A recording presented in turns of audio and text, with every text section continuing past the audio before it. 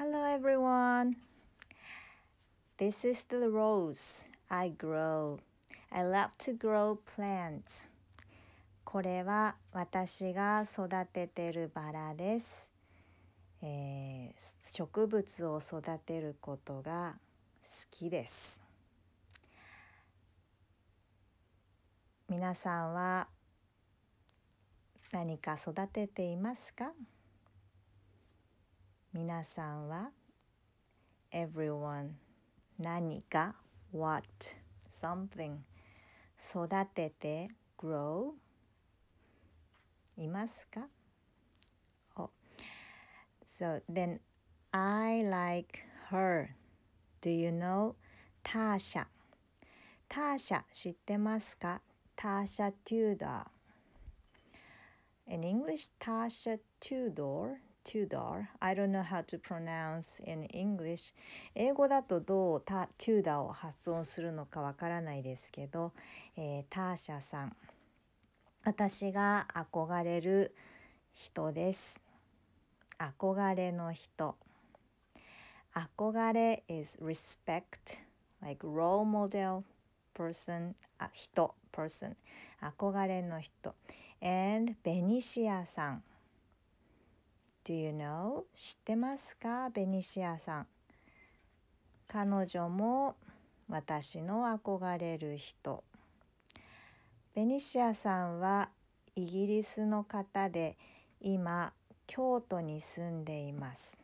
日本の京都で暮らしているイギリス人の女性です。でターシャの方は、えー、何年だったかな？亡くなってしまってなんと最近世界の電気に、えー、載っていました世界の電気というのは世界 world 電気は電気 forgot in English anyway some famous person famous person in the world um, this is the cartoon これは漫画です。Cartoon for kids. So kids can study about the famous person in the world. And she's now she's one of them. ターシャ・テューダの漫画が出ています。子供向けの電気。すごいですね。Great. 私これ見つけた時びっくりしました。When I found it, I was so surprised mm. and happy. And I missed her. I miss her. このバラは折れてるバラの枝から土に刺してまたそこから根っこを出して育てました憧れの人は誰ですか？So here 憧れ。憧れ。あこがれ。憧れの人は誰？誰？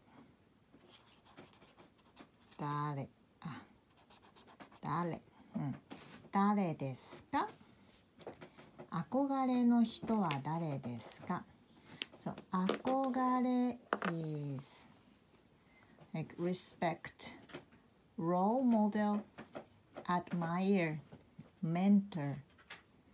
Good example. Look up to look for um, it depends love crush on the same okay so this means 誰ですか who is あなた誰 is who are you so who is your blah, blah, blah, blah, blah. who is your favorite or who is your role model and 誰が憧れの 人ですか ?So all same meaning 誰が憧れの人ですか So 誰が is subject. So who comes here and who do you who do you respect? Who do you look up to? Who do you 誰が憧れの人ですか Oh, the reason why I put this is you can say 憧れの人は誰です憧れの人は誰ですのか And this is a polite way. If you say friendly, casual way, you can say 憧れの人は誰 ?No ですか憧れの人は誰 And 誰が憧れ is okay. Okay, let's see next one.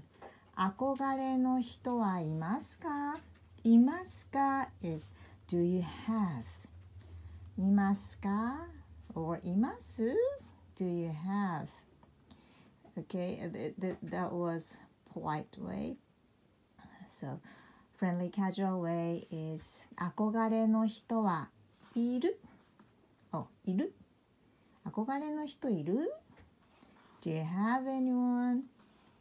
Or do you have any role model? And this one.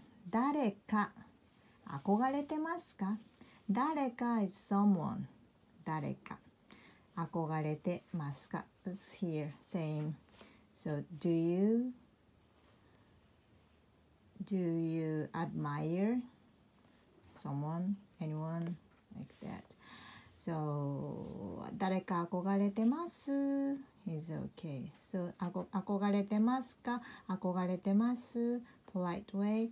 When you say friendly casual way 誰か憧れてる誰か憧れてる like that. Bit different. But all the, like, these four sentences it, it means kind of same so when you want to say these, which do you like to say, to use? Okay, repeat. Follow me again. 憧れの人は誰ですか憧れの人は誰ですか誰が憧れの人ですか誰が憧れの人ですか憧れの人はいますか憧れの人はいますか誰か憧れてますか誰か憧れてますか憧れ。But in Japanese, 憧れ can be do you have do you have special person? I mean like someone who someone you are very interested in. So it can be love stuff or just friend stuff. It depends on the situation when you use akogare.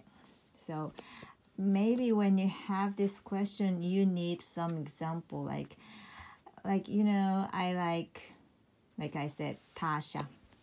Tasha do that. Then they will understand this is not about the love story, love story. But if I say someone mm, I am interested in, and they can see I'm talking about love stuff.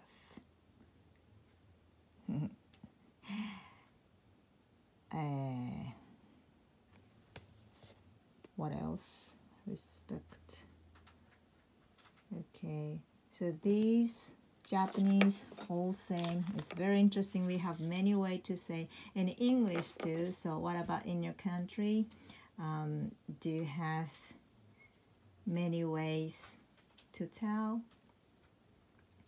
皆さんの国ではどうでしょうかいろんな言い方伝え方があると思いますなのでいろんな言い方があるから難しく考えず好きなように好きな話し方でどれが正解っていうのもないですこの日本語の文法もよく見るとうんテストだといいんだろうかっていうものがありますけれどみんな気にしないでおしゃべりしてますね。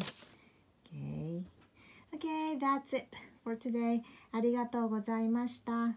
Remember to check the written screen under my title for tips and rewind to practice. またね Happy day!